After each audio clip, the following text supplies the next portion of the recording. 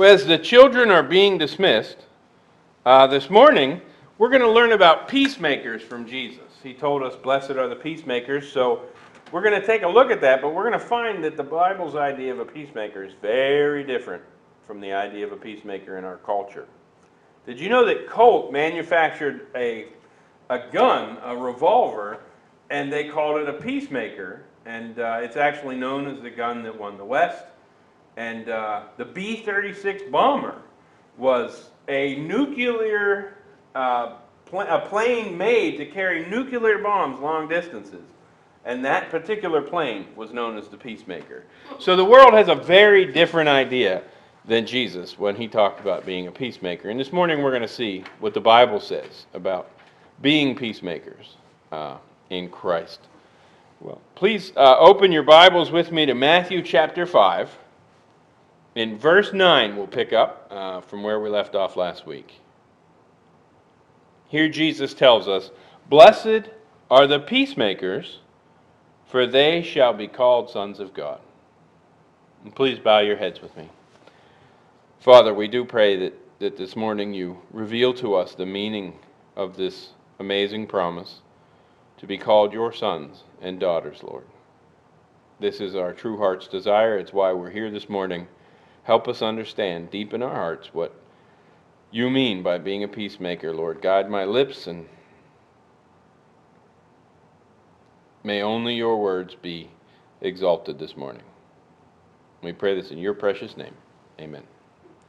Well, the beatitude we're looking at this morning is the last beatitude in which we receive the blessing through our obedience to Jesus by the empowerment of the Holy Spirit. The two after the one we'll look at today are very different. But each of the seven uh, characteristics of those who follow Jesus that we call the Beatitudes that we've looked at so far, they all flow, as we looked at last week, from putting on Jesus in every circumstance. The two Beatitudes that we'll look at in the future that follow blessed are the peacemakers are the result of living out the first seven. Unlike the others, we don't obey them to receive their blessings. The next two, blessed are those who are persecuted for the sake of righteousness, and blessed are those who are persecuted for the name of Jesus.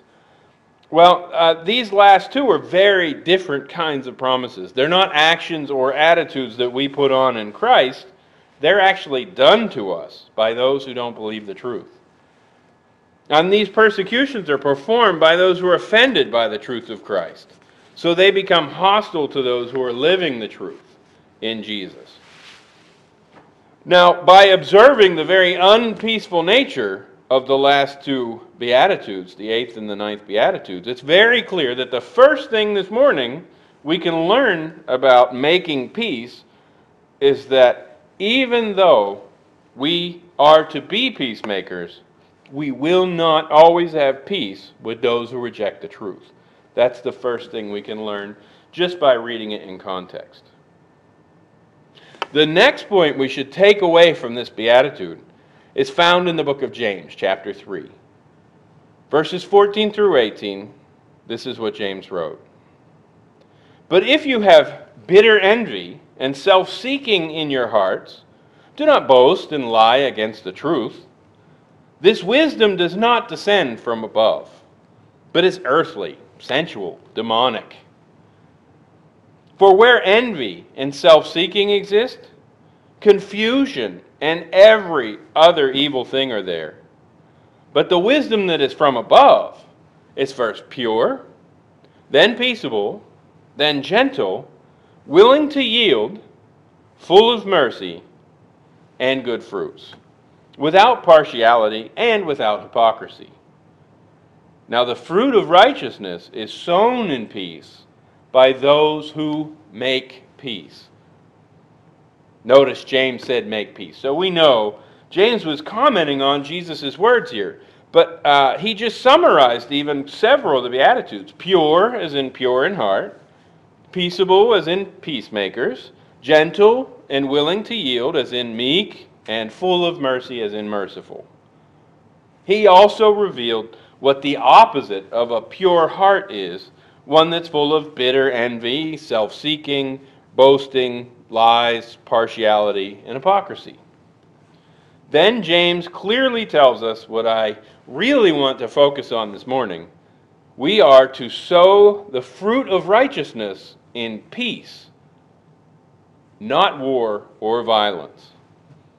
A different way of explaining what James just told us what is we are to live out the righteous life that we've been called to in peace as peacemakers.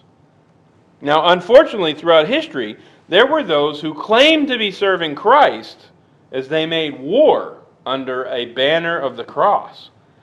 James made it very clear, however, this type of person is not serving Jesus.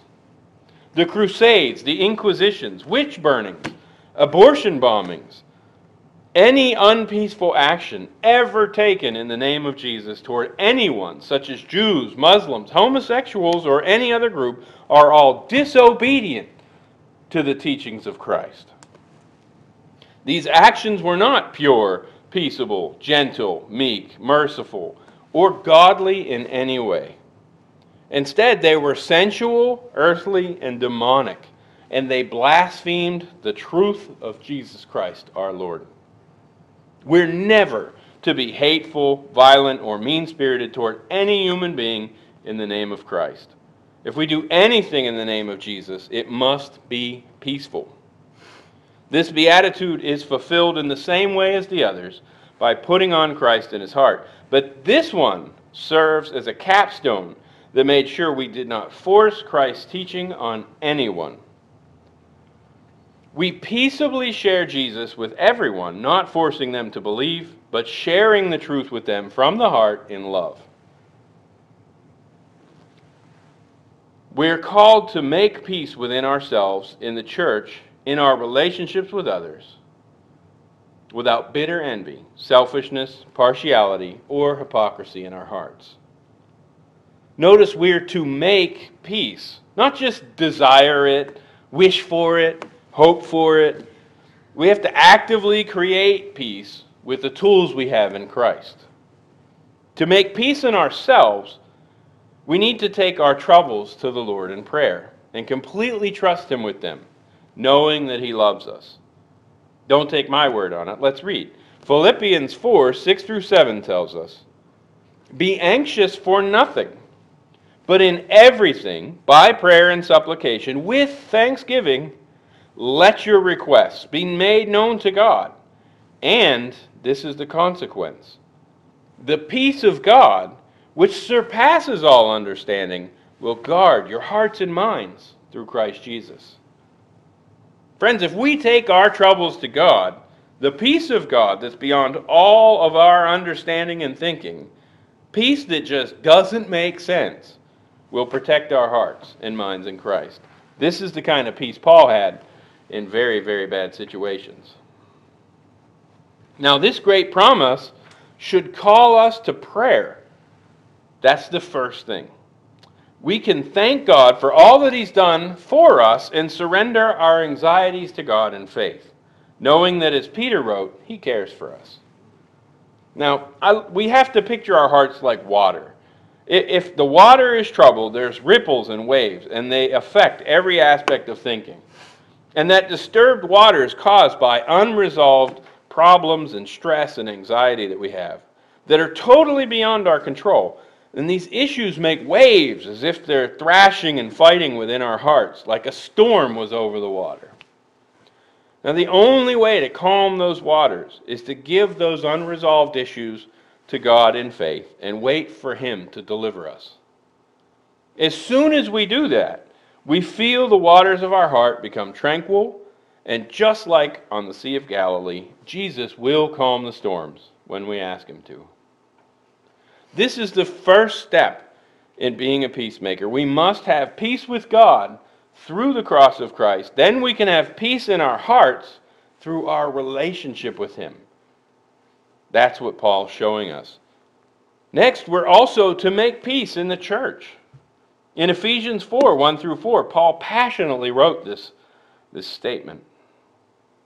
I, therefore, the prisoner of the Lord, beseech you to walk worthy of the calling which which you were called, in all lowliness gentleness with long suffering, bearing with one another in love, endeavoring to keep the unity of the Spirit in the bond of peace. Now, first, to walk worthy of our calling, we're to endeavor to keep the unity in the Spirit in the bond of peace.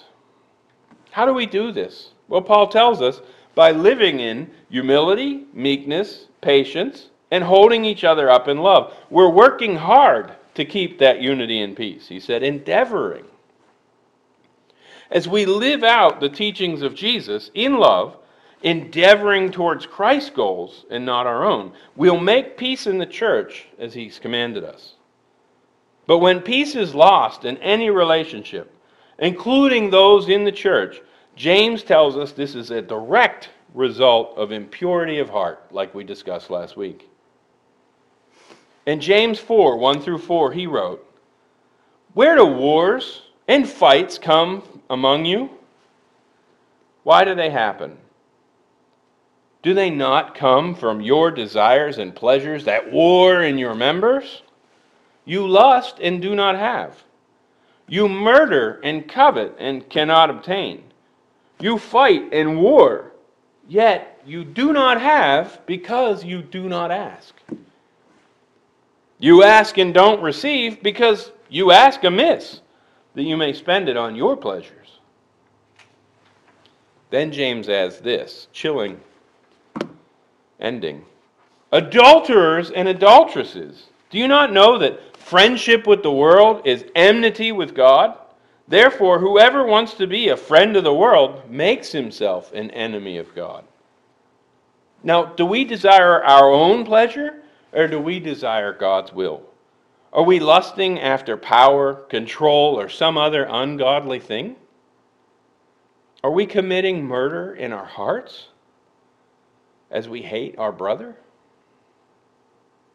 Are we coveting something that doesn't belong to us, something that God has not given us? These attitudes are the opposite of being a peacemaker. This is being a troublemaker. James viewed troublemakers plainly as adulterers and adulteresses, people who were fornicating with the world even though they were supposed to be married to Christ. He tells us if we do act out of those ungodly desires, that we make ourselves enemies of God, who knows all of our interior motives. So, just like the previous six Beatitudes, this one has an opposite, as James just revealed. Woe to those who are troublemakers, for they shall not be called sons of God. Notice James also revealed that the troublemaker not only, excuse me, had a purity of heart problem, they also had a prayer problem, just as we saw with Paul. They didn't seek peace in their hearts through their relationship with God, and they did not receive because either they did not ask or they asked with wrong motives. Friends, we must have a strong relationship with God through Christ to have peace in our hearts. Then we can make peace in the church and in our other relationships.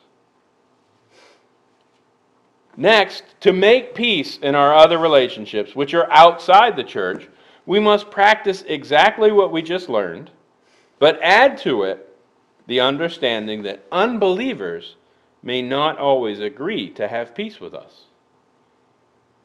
Paul says this in a very poignant verse in Romans 12:18. If it is possible, as much as it depends on you, live peaceably with all men. As we mentioned, those who reject the truth may persecute us. But even in those extreme circumstances, we can pray for them share Christ with them, love them, and pray for peace with them. We must treat all people with meekness, humility, gentleness, mercy, and pure motives if we're to be peacemakers. And their response does not change how we're supposed to treat them. Hebrews 12:14 gives us a very similar exhortation towards peace with a little bit different wording. Pursue peace with all people and holiness without which no one will see the Lord. We're to pursue peace. I like to picture this is like a car chase in a movie, and we're just driving around trying to catch up to peace. You know, we're to go after peace, even though it's elusively trying to get from us, sometimes at great speeds. now, some unbelievers really, really want to hold a grudge against us, but we must pursue peace with them anyway, even while they're wrong because it could mean them spending eternity in hell if we don't. For example, there was a young Christian soldier in the military, and every night he would kneel down next to his bunk and privately pray to the Lord. One of his fellow soldiers was very hostile to the things of God, and he would constantly make fun of our Christian friend soldier here. And one night, the hostile soldier actually took his muddy boots and threw it at him. And they, they really hurt him. They were dirty, they were heavy, they were embarrassing. And uh, instead of retaliating, he forgave the man who threw those boots at him and prayed even harder that night. In the morning, when the hostile soldier woke up, he found his boots cleaned and shined, sitting neatly at the foot of his bed and his opinion of that Christian soldier was never the same. His heart softened, and not only did they have peace throughout their time staying together, several years later, this memory forever changed the way he saw Christianity, and he surrendered his life to Christ. In this way, we must pursue peace with all people, even unbelievers who persecute us. Now, why should we be this, this way? Why should we desire peace with people? Well, friends, because God has given us peace with Himself through His Son, and our motivation should be His motivations. Remember, pure in heart? Since Jesus has sacrificially given us peace with God, we're called to help others find peace with God. There's an amazing passage in 2 Corinthians 5 18 through 20 where Paul tells us about this great ministry we have now. He wrote, Now all things are of God, who has reconciled us to himself through Jesus Christ, and has given us the ministry of reconciliation. That is, that God in Christ was reconciling the world to himself, not imputing their trespasses to them, and has committed to us this word of reconciliation. Now then, we are ambassadors for Christ, as though God were pleading through us. We implore you on Christ's behalf, be reconciled to God. Paul just informed us we're ambassadors for Christ. It's like God is pleading with the unbeliever through us to find peace with God. Reconciliation is simply the renewal of peace past animosity. In other words, the war ends, peace is restored. And the gospel is that word of reconciliation that we've been entrusted with. There's two parts of fulfilling this ministry of reconciliation that we've been given. First, to truly be a peacemaker, we must exemplify the Prince of Peace in our lives. That's why Jesus put six other Beatitudes before this one. He didn't do that as a mistake. As his ambassadors, we must understand that how we represent Jesus, how we live, directly affects how the world perceives Christ. What if that soldier threw the boots back? What if he took revenge? How would that man perceive Christ then? In 2 Peter chapter 2, we learn that false teachers will come into the church, and many will follow their destructive ways, which will cause the way of truth to be blasphemed. Let's look at some key verses in this powerful chapter, beginning with verses 1 and 2. And friends, this is from the absolutely sure word of God. What he is saying was guaranteed to happen from the day he wrote it. But there were also false prophets among the people of Israel, even as there will be false teachers among you who will secretly bring in destructive heresies, even denying the Lord that bought them, and bring on themselves swift destruction. And here's the sad part. And many will follow their destructive ways, because of whom the way of truth will be blasphemed. Because of whom the way of truth will be blasphemed. So far, Peter has explained false teachers will secretly deceive many to follow destructive teachings and because of that, Christianity itself will be blasphemed. False teaching can cause us to misrepresent Jesus and cause people to blaspheme this holy faith we have. It's very important that we conduct ourselves in a manner worthy of the gospel as we read earlier in Philippians 1:27. Only let your conduct be worthy of the gospel of Christ. It's reported when Gandhi was asked why he would not consider converting to Christianity, he replied, I love Christ, but it's just that so many of you Christians are unlike him.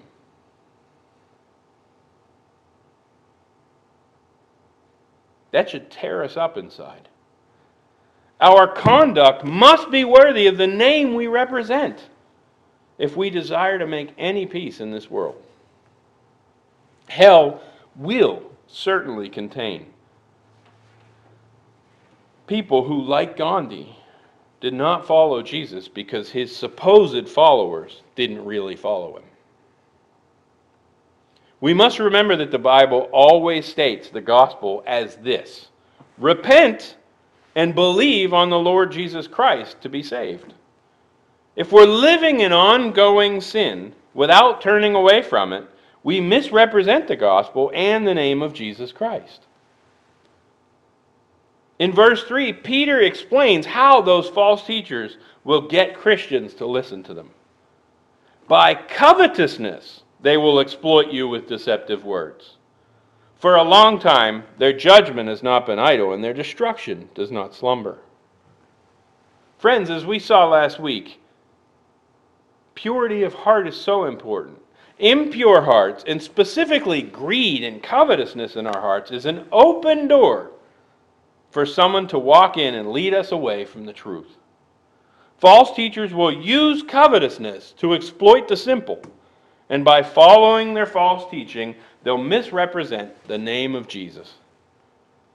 Your best life now, health, wealth, prosperity teaching, they don't fit in very well with the next two Beatitudes about persecution, let alone the rest of the New Testament. By covetousness, they will deceive. Now, why did Peter call the ways of these false teachers that many would follow destructive? Well, in verse 18 through 22, Peter begins to explain the destiny of those who follow these false teachings.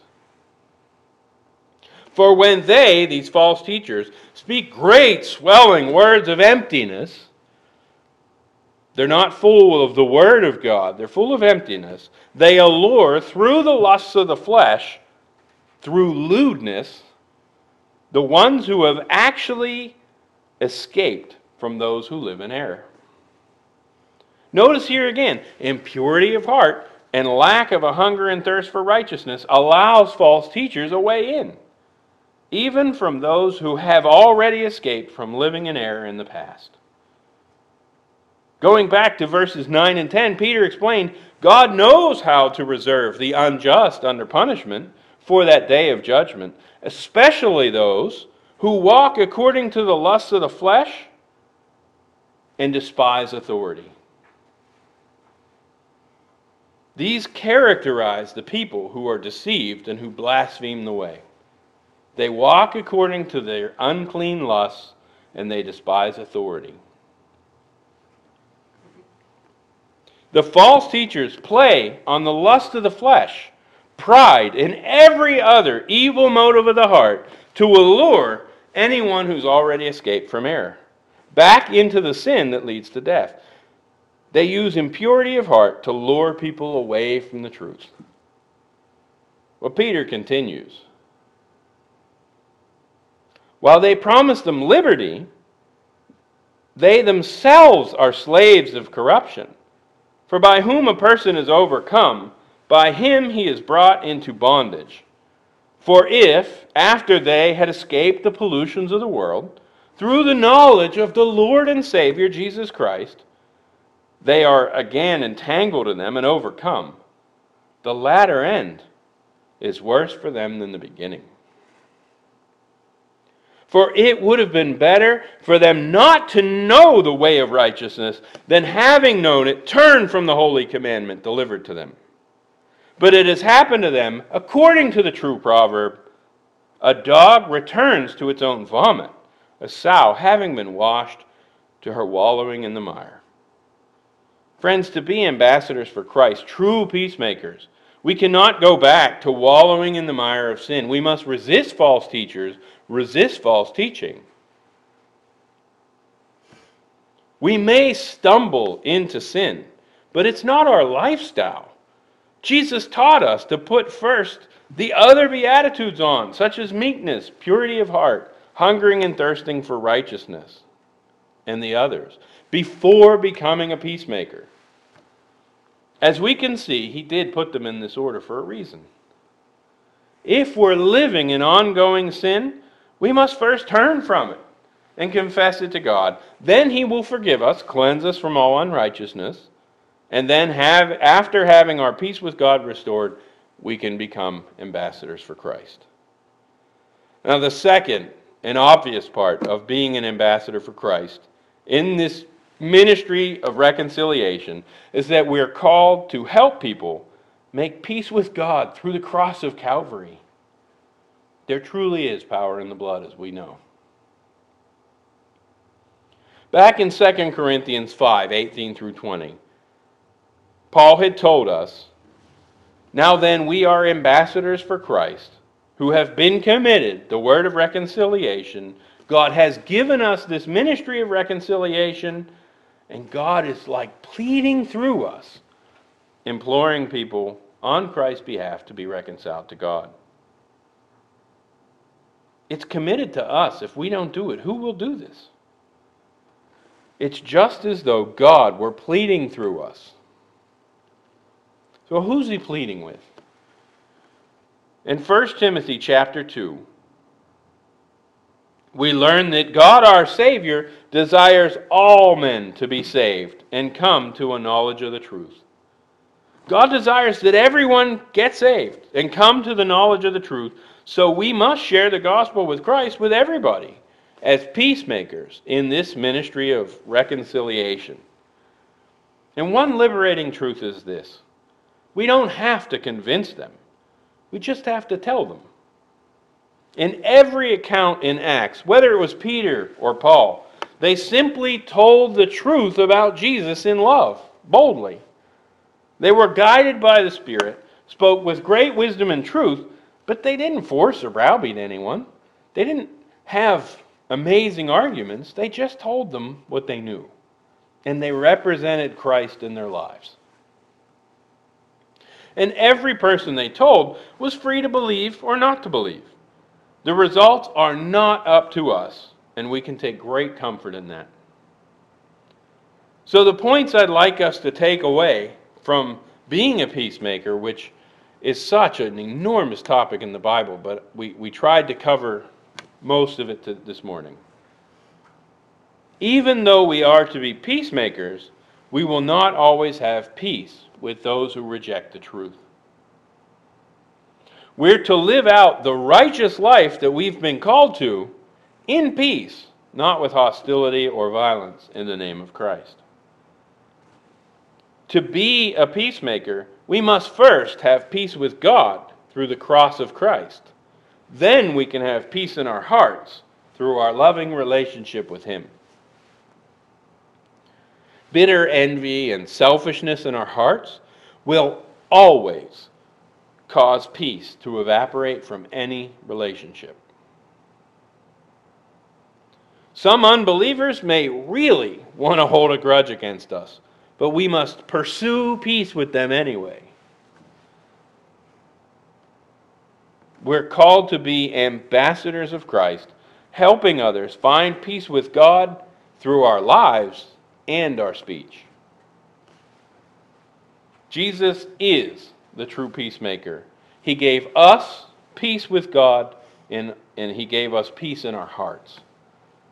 And as we put on Christ and live out his teaching in the power of the Spirit, making no provision for the flesh, we can be peacemakers, sharing that message of reconciliation as true sons and daughters of God.